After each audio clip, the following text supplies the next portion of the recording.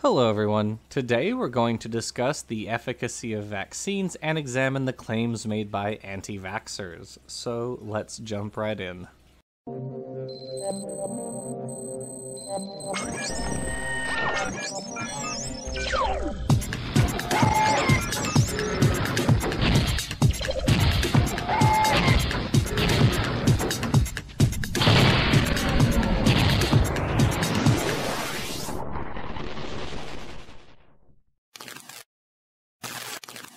Before I go into this, first let me say this to those who are watching. If you are hesitant to get vaccinated, I hear you.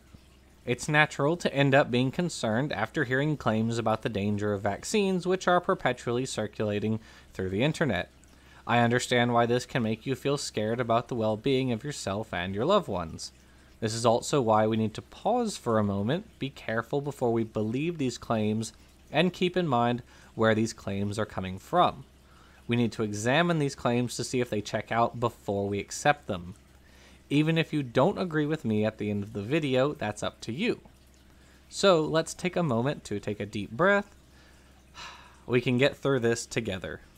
This video was spurred into existence by podcaster and former MMA fighter Joe Rogan hosting a well known and very prominent anti vaxxer named Robert F. Kennedy Jr and no, before anyone makes the argument that it isn't fair to label RFK Jr. as an anti vaxxer since he is not against all vaccines, it's a plain fact that his career for almost two decades now has consisted of echoing the main anti vaccine claims, such as the claim that they cause autism. Last year, the Center for Countering Digital Hate analyzed a sample of anti vaccine content on social media. This sample consisted of posts that were shared 800,000 times on Facebook and Twitter from February 1st to March 16th in 2021. They found that 65% of this anti vaccine content originated from just 12 individuals, which includes RFK Jr. This isn't a coincidence. Not only that, during this recent Joe Rogan podcast, RFK Jr. also made some pretty wacky claims about what Wi Fi does to you, such as causing cancer and opening up the blood brain barrier. Don't take my word for it, here it is. Wi-Fi reg- uh, radiation is a lot worse than people think it is, but you know I don't think. How so? Well, Wi-Fi radiation is uh, does all kinds of bad things, including causing cancer. Wi-Fi radiation causes yeah, cancer. from your cell phone. I mean, there's cell phone tumor, tumors. You know that. I mean, I'm representing hundreds of people who have cell phone tumors behind the ear. It's always on the ear that you favor with your cell phone. Oh, um, and you know we have the science. So if anybody lets us in front of a jury, they, it will be over. You know, we, so what is what is the number? Because a lot of people use there's a lot of people with it. They're, glioblastomas. That's the kind of cancers that they get. But cancer's not the worst thing. They also, you know, it opens up. Wi-Fi radiation opens up your blood-brain barrier, and so all these toxins that are in your body can now go into your brain. How does Wi-Fi radiation open up your blood-brain barrier? Yeah, now you're gone beyond my uh, my Okay. expertise. I, RFK Jr. goes on to say that he and his organization, the Children's Health Defense, sued the Food and Drug Administration relating to this issue, and even claiming that he won the case. A small problem with this story is that it's simply a lie. All the lawsuits his organization has filed against the FDA, Facebook, Rutgers, Reuters, and the BBC, among others, involving mandatory vaccines and public vaccine information, have been dismissed outdoing even creationists who usually don't claim that they have won lawsuits they didn't. His organization sued the FDA on August 31st, 2021 for, quote, failing to carry out its mission, close quote, for approving COVID 19 vaccines for children. The court found that his organization lacked standing and the case was dismissed. A number of other groups have alleged that cell phones cause brain cancer and sued AT&T, Motorola, and other telecommunication companies on those grounds. However, these cases have without fail been dismissed for lack of evidence. And let's talk about that evidence for a moment. It is a perfectly valid question to ask whether or not cell phones cause cancer. What isn't valid, though, is stating that cell phones definitively do cause cancer or that there are thousands of studies supporting this link. They don't, and there aren't. Quite the opposite.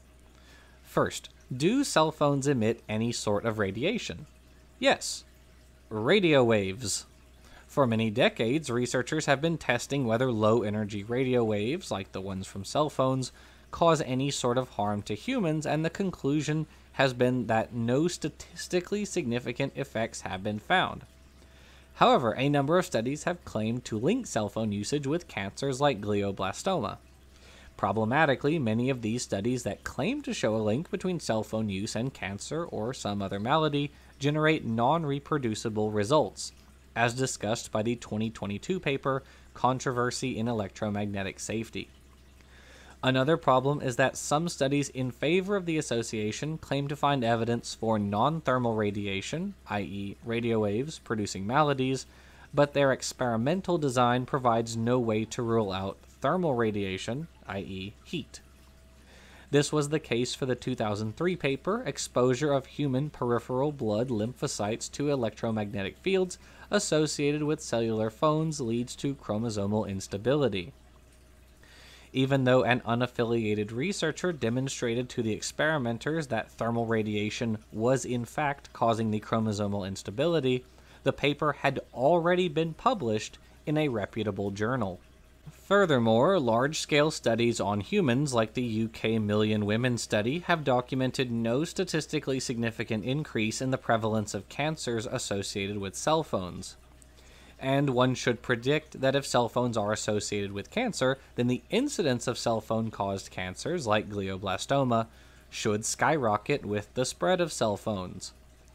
Yet, numerous long term studies on the incidence of such cancers have shown no correlation with cell phone usage or even a statistically significant increase in the cancer's occurrences. And notably, there is no explanation for how radio waves could directly cause cancer. Without a testable causal mechanism, there is no way to verify that causation is being studied rather than simply correlation. It is for these reasons that the National Institute of Health, the World Health Organization, the International Commission on Non Ionizing Radiation Protection, and the Food and Drug Administration all deny any evidence based association between cell phones and cancer. So, no, there is no mechanistic explanation for how the low energy radio waves emitted by cell phones could cause cancer, nor how they could open the blood brain barrier. RFK Jr.'s assertions have no basis in reality, but this isn't the first time he has publicly asserted fiction as fact. Back in 2005, RFK Jr. alleged that the mercury based vaccine preservative thimerosal was linked to autism. Though a few studies have claimed to detect a link between thimerosal and autism, the overwhelming consensus of medical professionals is that there is no causal link between the two, as indicated by the 2022 review, The Myth of Vaccination and Autism Spectrum. The belief that vaccines are linked to autism soared in popularity following a now discredited study published in the British medical journal The Lancet, led by Andrew Wakefield. Wakefield claimed that the measles, mumps, and rubella vaccine caused a digestive tract pathology that resulted in autism. His entire sample size was only 12 children, none of which displayed the symptoms Wakefield alleged. See Hbomberguy's excellent video on the subject. Nevertheless, thimerosal was largely removed from childhood vaccines across the US in 2001, except for some but not all of the flu vaccines. It's also the case that mercury levels in the blood of Americans have decreased from 2005 to 2012, according to the data from the National Health and Nutrition Examination Survey. Yet, autism rates continued to rise anyway, more likely because we got better at diagnosing autism. In a report from the National Health Statistic, they analyzed the prevalence of parent reported ASD among children aged 6 to 17 they found that the rate was 2% between 2011 to 2012, which is an increase from 1.16% back in 2007. They noted this increase was greatest for boys and adolescents aged 14 to 17, even though symptoms of autism are often recognizable at the age of 2 to 5. This suggests that many of the new autism diagnoses were among those who already had autism for many years but weren't recognized as such until later in life. This is further corroborated by the fact that school aged children diagnosed in or after 2008 were more likely to have milder forms of ASD with symptoms that are more subtle compared to those diagnosed on or before 2007. This is why the report comes to the conclusion that, quote, much of the prevalence increase from 2007 to 2011 to 2012 for school aged children was the result of diagnoses of children with previously unrecognized ASD. But this hasn't stopped RFK Jr. from continuing to make false statements about thimerosal and mercury. He also did this in the Joe Rogan podcast when he recounts a conversation he had with Dr. Paul A. Offit, who co invented the rotavirus vaccine RotaTeq. The rotavirus easily infects infants and young children, which may cause fever, abdominal pain, vomiting, and severe diarrhea, leading to dehydration. Rotavirus vaccines have saved the lives of tens of thousands of children under the age of five. So here's the clip. And when I talked to him, I caught him in a lie. What was the lie?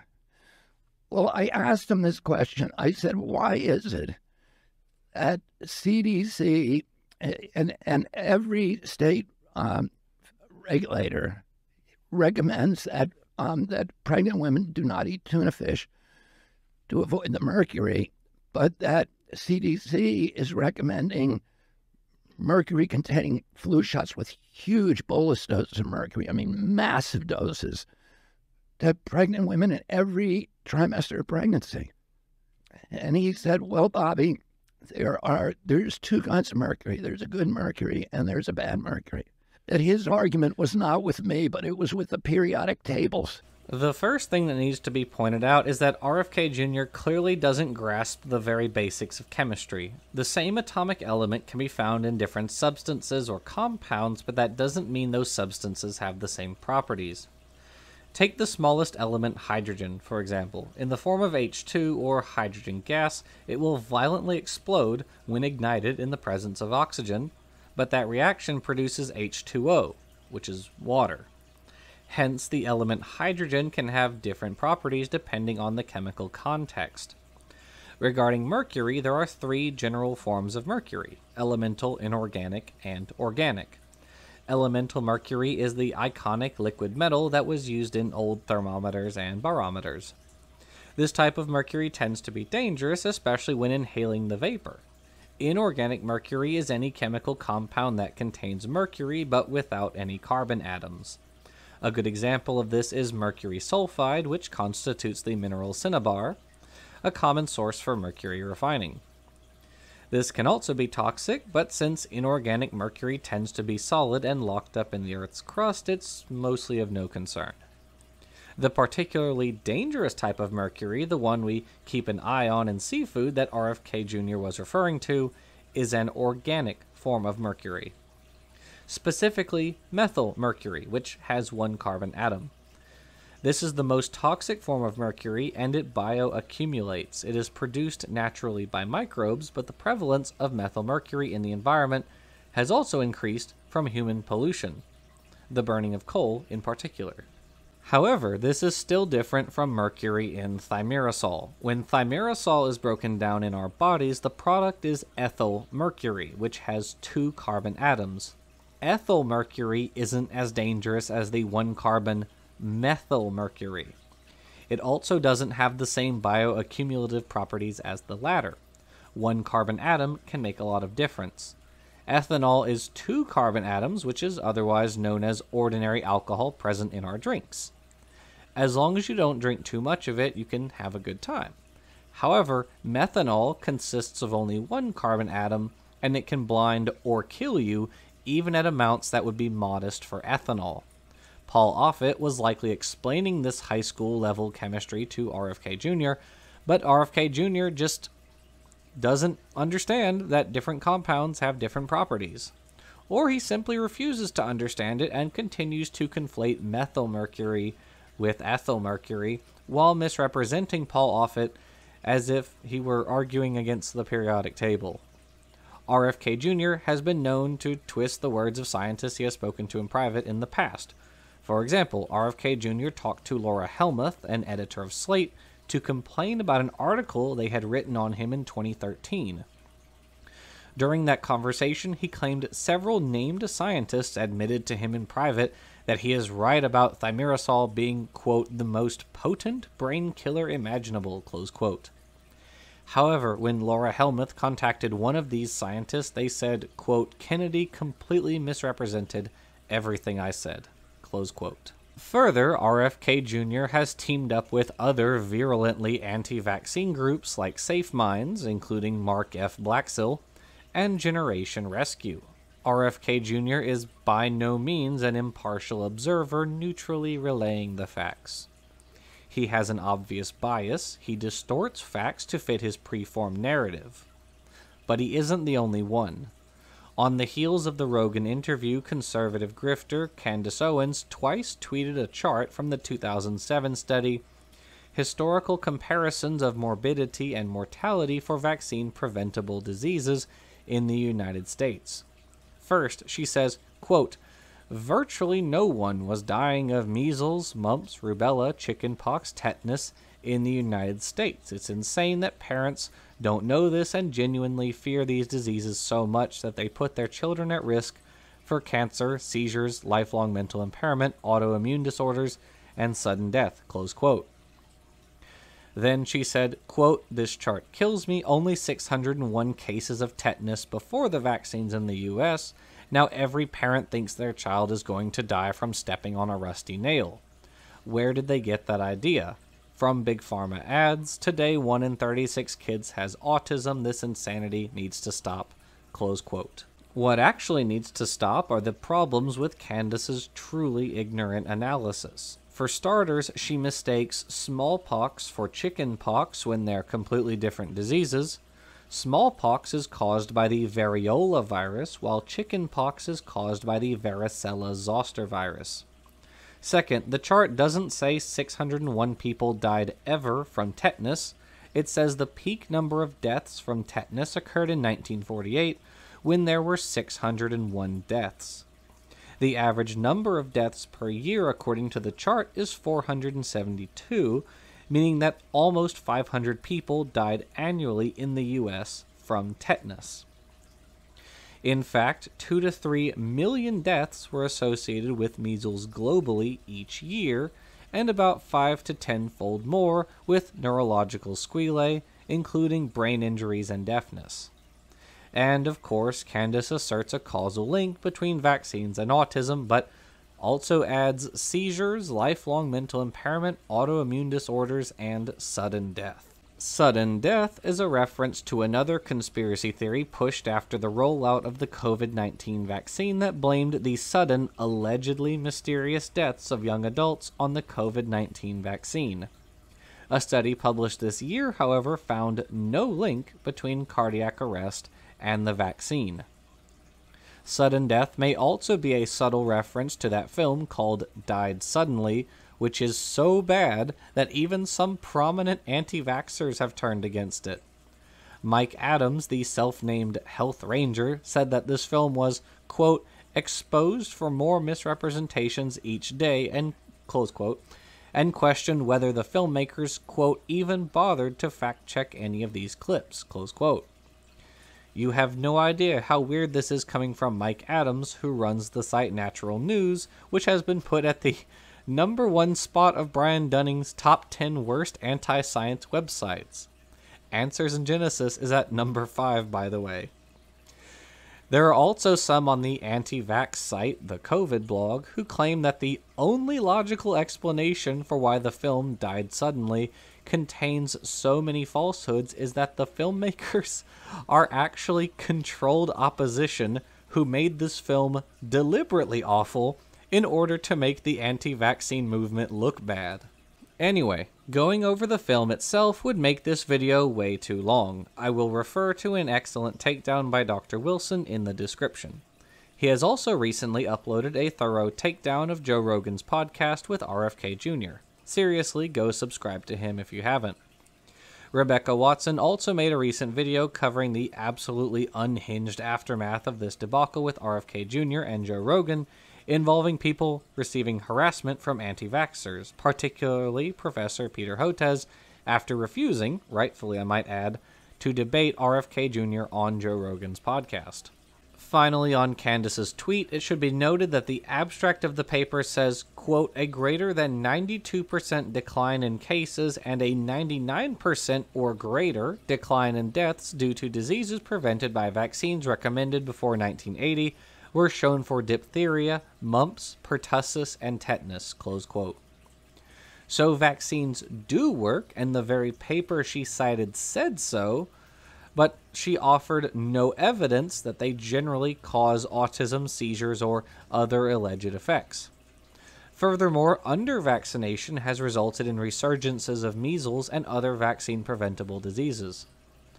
That should be alarming to anyone. To name other studies regarding the life saving value of vaccines and the impact of vaccine hesitancy on the public, Dr. Lawrence D. Frenkel assesses the global burden of vaccine preventable diseases among children under the age of 5. This report says that 5.3 million children under the age of 5 died from all causes in the year of 2018. Among them, 700,000 died of vaccine preventable diseases. The vast majority of these children lived in low and middle income countries. The lack of access to vaccines in different parts of the world is a real problem that we are still struggling with today. This inequity is largely the result of the fact that vaccines are generally controlled by a for-profit pharmaceutical industry despite the fact that the R&D of vaccines has been supported by billions of dollars of public funding. That's inexcusable. Even though I disagree with them on the use of vaccines themselves, the anti vaxxers do have a point when they complain about big pharma. Regarding COVID vaccines specifically, a report by Imperial College London published in 2021 and a paper published in Nature in 2022 concludes that the mortality rate of COVID 19 could have been up to eight times higher in countries with high vaccine hesitancy compared to an ideal vaccination uptake if non pharmaceutical intervention was taken into account. To put some actual numbers to this, the paper Global Impact of the First Year of COVID 19 Vaccination, a Mathematical Modeling Study, finds that between 13.7 and 15.9 million lives were saved from December 8, 2020 to December 8, 2021. Their estimate rose to between 19.1 and 20.4 million lives saved when they used the excess deaths as an estimate of the true extent of the pandemic which would represent a reduction of 63% from a total of 31.4 million deaths. However, the paper also reports that an additional 45%, representing 42 to 49 million deaths, could have been averted in low income countries if the 20% vaccination coverage target had been met in each of these countries, and an additional 111% of deaths could have been averted if the 40% vaccination coverage target set by WHO was met by each country. There are plenty of other papers out there that all make similar conclusions. To close this video, I want to make an impassioned plea to my viewers who may be genuinely concerned regarding vaccines. I understand that science can be complicated and it can feel like other people are making decisions for you without your full understanding of what is happening or why. As I stated at the beginning of this video, I understand the sense of hesitancy regarding vaccines. All I hope is that you also take a look at some of the scientific literature that I have presented here, as well as the other papers that you can find for yourself. At the same time, I hope that you understand where I am coming from. For way too many times in recent years, I have seen stories of someone who refused to get a vaccine before they were hospitalized, where they expressed their regret of not getting vaccinated and later ended up dying from COVID. To my viewers who agree with me on vaccines, please don't make the mistake of seeing this as some kind of ironic karma, which sadly has been a reaction from some people on the pro vaccine side. No, please don't do this. They are tragic victims of the very anti vaccine misinformation that is putting all of us at risk. So, in summary, all current scientific evidence that we have points to the conclusion that vaccines are safe, they prevent diseases like measles, and have even eradicated others like polio. There is no evidence vaccines cause autism or sudden deaths, and there is no evidence that cell phone radio waves cause cancer, and millions of lives have been objectively improved by the introduction of vaccines. I'll tell you something personal. I hate needles. I can't stand to watch an injection, but I get my flu shot anyway. I get it not only because it protects me, but it also protects other people around me. I got the COVID 19 vaccine as soon as it was available too. So, thanks for watching, and I'll see you all next time.